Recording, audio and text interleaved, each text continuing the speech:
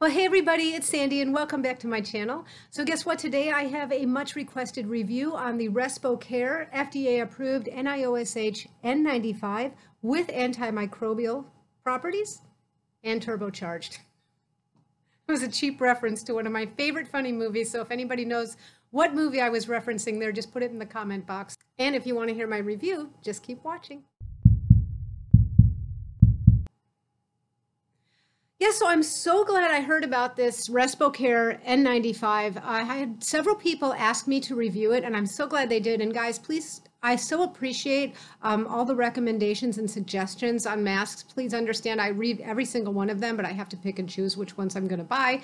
Um, so there's my place to do my usual plug, which is that my channel is a public service. I don't have any affiliate links on my channel because I don't want any bias that commissions can create. Yeah, I pick and choose which masks and respirator in this case to purchase for review. So thank you so much for those of you who have subscribed and recommended to other people to subscribe. I thank you so much. I hope the channel keeps growing and I'm just so pleased with it. So thank you. Anyway, so this is a very interesting N95 and for a couple of reasons. One is that it is marketed for the general lay public. So you can purchase an N95 without the concern that you are diverting resources that are needed by health professionals and people on the front lines. So this is for the lay public.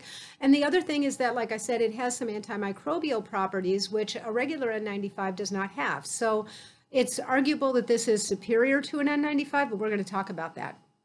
So the Respokare is made by a, a, company named Innovix, and the distributor is called the N95 Mask Company. I'm going to link that down below. You purchase the product through the N95 mask company. Now, like I said, it's not an affiliate link. The link is just there to take you to the product. I'm also going to link below the page to the FDA website that shows that the Innovix uh, N95s are on the list of approved respirators.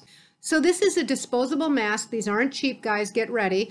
Depending on how many you buy, uh, the price does get cheaper per item the more quantity you buy. So I bought a four pack. They come in this Ziploc bag with four respirators inside. The four pack is $49.95. Um, just to give you some reference, a 10 pack is $89.99, a 20 pack 179 and change, a 50 pack 399 and change. So at the price point that I bought with four of them, it comes out to be $12.49 per respirator. Um, but if you get down to like 50 masks or respirators, I should say, the price is more like $8 per respirator. And at 5,000 respirators, which is the largest quantity they sell, each one is a cheap 650. Um, the shipping and handling on these for anything under $149 is a flat fee of 70 $17. Uh, that's an express ship overseas. These come from Hong Kong. Um, it's a three-day ship, but in fact, it took five days to get to me. I think there's, you know, a day wasted on either end. Once you purchase $149 or more of merchandise, then that same three day express ship overseas is free. They do have a 30 day return policy, but I noticed that it's not aimed at letting you try something and see how you like it. Everything has to be in its original sealed packaged condition, unused, untried. So it's more aimed at maybe you ordered too many or you changed your mind about the order altogether. Now, I did notice that in the event you do want to return some of these and they are eligible for return, they don't have to go all the way back to Hong Kong. You will have to ship them to an address in New York and get a return authorization code. Now, this comes in one size only, so it's one size fits most adults. It is disposable, so it's not washable. Of course, they recommend following the CDC guidelines and not to reuse these, not to wash them, launder them, clean them, dry them out, or anything else. They're good for about eight hours. They are capable of blocking 95% of particle size 0.3 microns and larger, just like any other N95. But in addition, these boast the ability to eradicate up to 99.99% of microbes on the surface. Now I'm just going to show you the respirator itself. So it's it's just this it looks like polypropylene. Of course they don't say it. They say non-woven material. It feels like polypropylene looks like polypropylene. I'm going to show you the inside. Same thing. You see that kind of waffle pattern. Um, when you open it up it's got a very thin piece of foam. I don't know there you can see it right side up. That goes around the nose. It's opposite the nose band. And this is a very um, dense foam. I'm going to try to show you. It doesn't have much spring to it. It's maybe hard to see because everything's white and there's no contrast. But This sort of reminded me of like a memory foam. I did a video a while back reviewing a product um, that was supposed to work like an N95, uh, the germless products, and it had a layer of foam all the way around it as well to help you achieve a seal. It didn't have anything close to a seal, but it was a very lightweight foam, and I'd said I was sort of expecting it to be more like a dense memory foam. This is almost like the foam-backed tape that you find um, in like first aid section. So it's very dense. Now the mask is made out of four layers. So I'm just going to go um, from the inside out. So the four layers include one, a what they call a soft material that is water resistant. Now that is different than what I've talked about with masks. Again, this isn't a mask, it's a respirator, but this is a really good opportunity to just have a sidebar here and explain how you can't cross-reference between a mask and a respirator. They're apples and oranges, they're very different things. Um, this is really manufactured almost solely with the protection of the wearer in mind, almost nothing else. It is perfectly acceptable, therefore, that it doesn't have the same features that I've said I've been looking for in a fabric mask.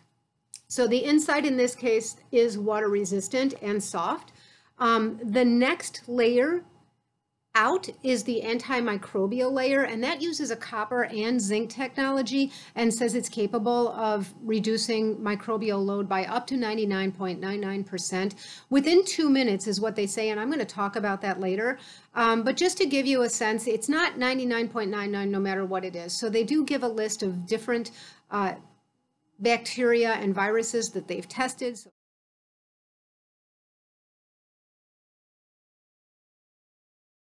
Now, these are all very impressive numbers, but I just wanted to be really clear about that.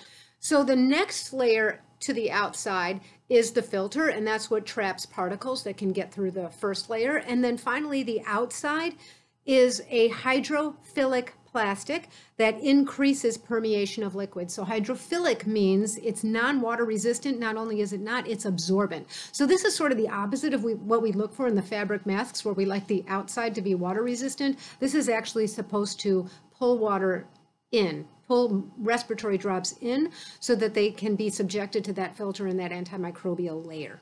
Now, in addition to that, this outer layer has an acidic coating, so it has a very low pH, which is very inhospitable to microbes. So this alone is a little bit antimicrobial, but the real heavy hitting comes with the layer that has the copper and the zinc technology. So let's just take a look with our usual water droplet test. We're going to find the opposite results that we're usually looking for. This is the outside layer, and just like they say, they do beat up, but they will absorb in. It's just kind of a slower absorption, but you can see that they're really not rolling. And slowly they sink in. So that's the outside. I'm sacrificing this one mask. and then on the inside,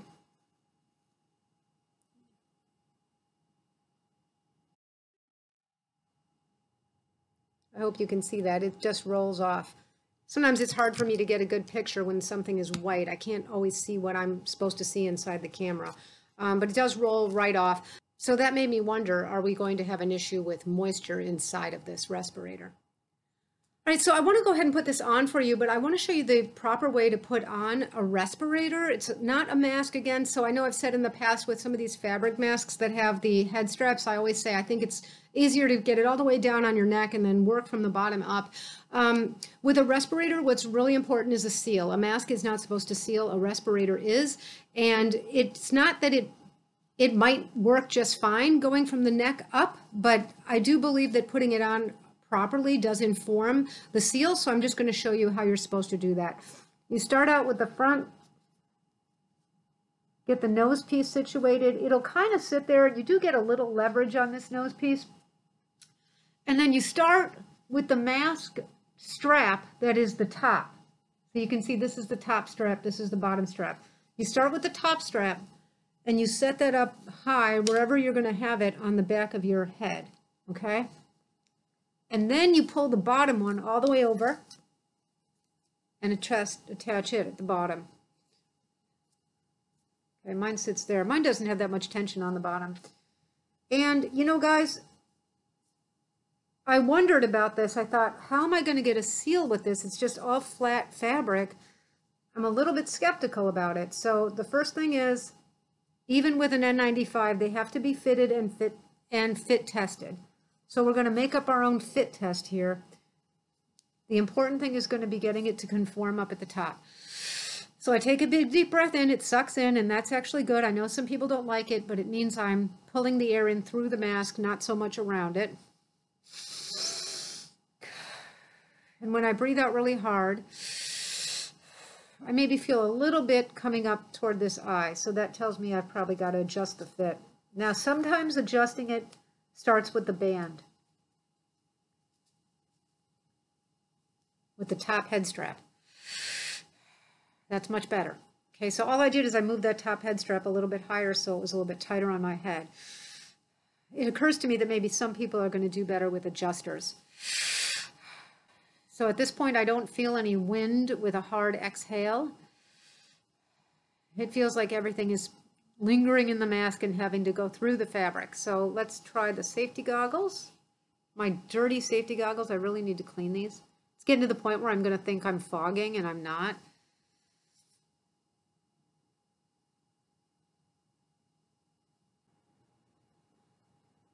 I have a little bit right here. So let me see.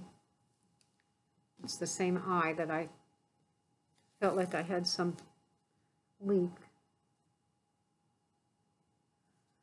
So this is actually a good opportunity here because just like an N95, if you were working on the front lines in the hospital, that N95 would have to be properly fitted. It's not enough to just get an N95 and throw it on your face and think that you're getting the seal. And in order for this to work the way it's been tested and demonstrated to work, it has to be sealed. Let's try that again. Yeah, it's better.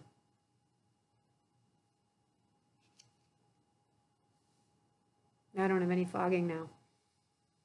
No fogging.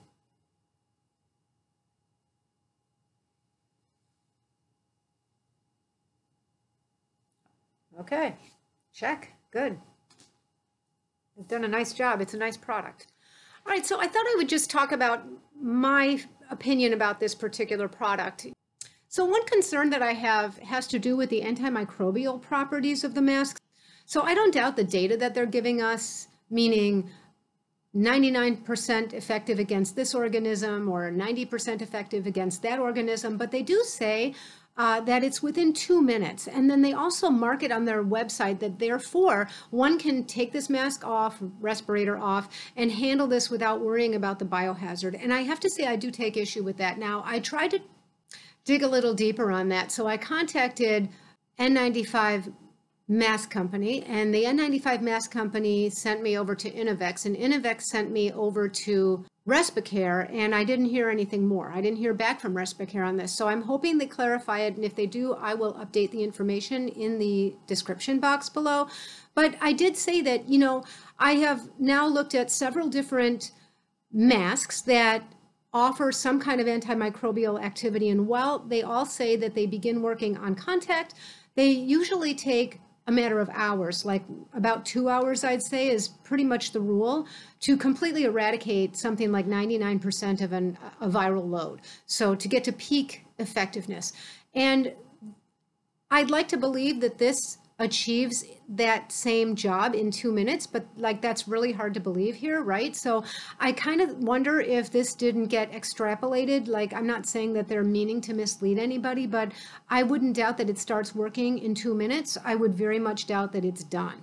So until I hear otherwise, um, I don't think that I would handle this in the way they say, where I have complete reckless disregard for any biohazard on it. I think I will still um, would still view this as a biohazard if I had to take it off and put it back on again in short order. And it's not the kind of thing like with some of the masks that I've talked about where they use antimicrobial textiles where you're going to be letting it sit overnight and then using it again because this is a one-time use item.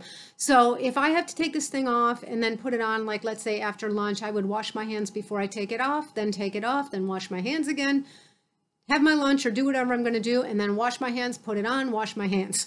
So I just wouldn't assume that it's done with that work. And I do take issue with them marketing that, given that they're not uh, putting up the testing. They do show the results of testing in terms of the relative percentages of efficacy against certain viruses and bacteria, like I just stated, but they don't show any of the empirical evidence that this is completely achieved in two minutes. So that's one issue I have with this product.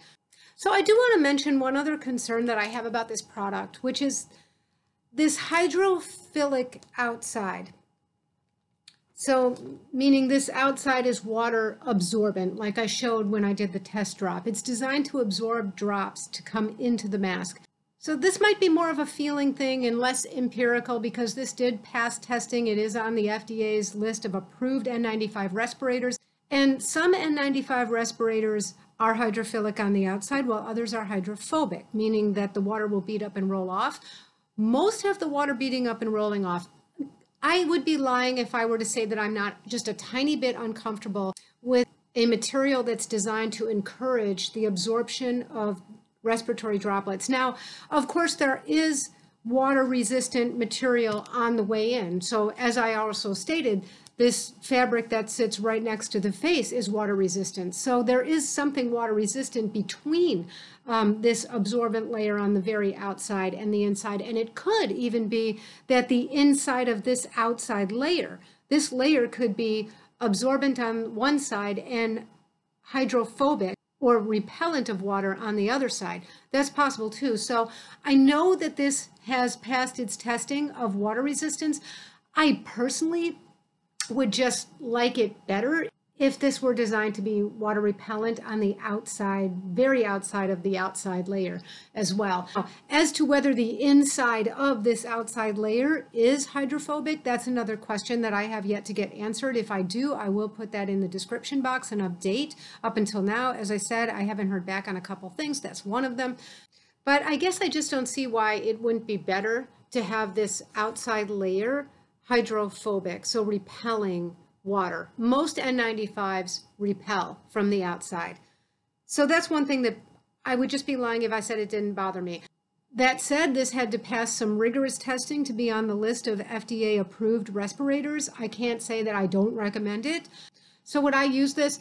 You know, I'm really not sure. Um, first of all, I've said on this channel before that I try to shy away from disposables. I felt like that this, because it did pass the rigorous testing and it is on an FDA approved list, um, I felt like it was really worth a look. And its testing alone and its certification alone tells me that it's a good product that's functioning as it's supposed to be. But my thought is that this kind of a product, an N95, really addresses issues like aerosols. And I've said in another video that I did a while back on how to choose a mask that when it comes to being in an environment where there is likely a significant amount of aerosol being generated, I feel like that that speaks more to other mitigation factors. So when I've had people ask me for some help in deciding on what kind of a mask to choose, for a given situation, my first question is always what can you manipulate about the environment? Not like let's look to a mask to solve these problems. So, can you get the windows open? Do you have any say over who else is wearing a mask? Is it your classroom? Can you require that your students wear masks in the room? Can you have the windows open and the fans running? Can you get it a little um, a little less dry in the room? That kind of thing. I think just not generating aerosols in the first place is really what's going to go a much longer way than looking to like a particular product to solve the problem. Because by the way, at 95% of particles 0.3 microns and larger still leaves you know, 5%. And not only that, but when you're talking about COVID, some of the aerosolized particles are smaller than 0.3 microns. Now, most penetration of aerosol studies have shown come from inadvertent leakage around the mask and not something that accidentally got through the filter. So that's really remote. The chance of that is just very unlikely. But I'm, I guess I'm just trying to say that I still don't see much of a place for this in like my everyday life. Now, there might be occasions where like I have to travel, I have to be in an airport and on airplanes for a long period of time. And then if I have a stash of a couple of these laying around, that might be the application for it. So that might be the time to use an N95. But again, depending on what other people are doing, like if masks are required all around, then a lot of these other concerns come off the table. And then I'm back to that I don't see much place for this in my life. But, you know, that might not be your situation. So I'm really glad that I had a chance to look at this. I do think that as long as I'm looking at something disposable, this makes a lot more sense than some of the masks I've looked at in the past. There was a video I did on masks I didn't review a lot of them fell into a category of masks that were originally aimed at pollution, things they needed uh, repeated filter replacements. And really, by the time you're done replacing filters, you know, you could have an FDA approved respirator for the price of a filter. So I feel more comfortable recommending something like this um, if I'm going to go the way of something disposable than I am looking at some of these masks that require um, continuous replacement of filters that still don't meet standard and aren't sealed. So I hope that helped. I, I hope you guys will let me know if you've tried it. I think it's really helpful to other viewers when you guys share your own experiences with these products because like I'm just one person and um, my experience is only that of one, but it's so helpful for me also to read the comments and everything that you guys share. So anyway, I just want to say thank you again. I really am so happy with the way the channel is growing. I've made it my business to stay true to my original goal for this channel would be that it's a public service and it will just have to grow. And I'm very happy with the way it's growing. So thank you to those of you who have subscribed. If you haven't, I hope you will. Um, and thank you for sharing with people who might find it helpful. And until next time, be well. Bye-bye.